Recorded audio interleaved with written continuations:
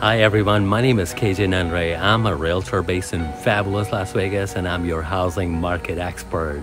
Let's talk about this week's updates.